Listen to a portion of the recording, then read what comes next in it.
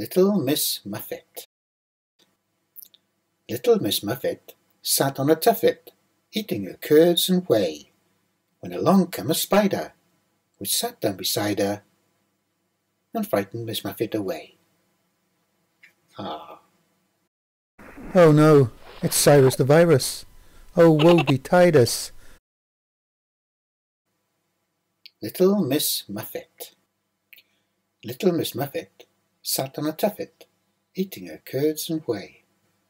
But the tuffet was a spider who'd hungrily eyed her and carried Miss Muffet away.